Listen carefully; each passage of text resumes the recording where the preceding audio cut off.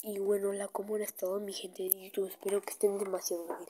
Hoy yo les vengo trayendo cómo hacer estas banderas totalmente.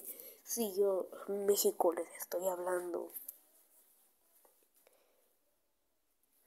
Lo primero que tienen que hacer es meterse a la Play Store. ¿Dónde está?